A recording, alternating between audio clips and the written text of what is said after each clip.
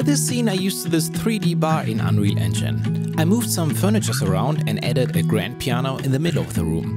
I closed the lid of the piano and changed the color to a nice wood.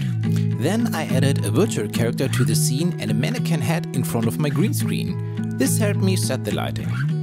Put the plastic head to the side and recorded the scene. Then I imported my footage into Unreal Engine, moved it to the piano and got rid of the green. I did all the same steps for my girlfriend at the table. Then I focused the camera on me. Save this to the timeline, move the timeline position to the right, focused the camera on her and saved this as well.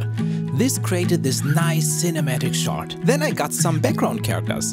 For the left side, I used green screen stock footage that I found on the internet. And for the right side, I got two virtual characters that I created using Character Creator. I rendered out the scene and got my final result. You can learn more with one of my courses on my website. Get 50% off with the coupon code in the description below.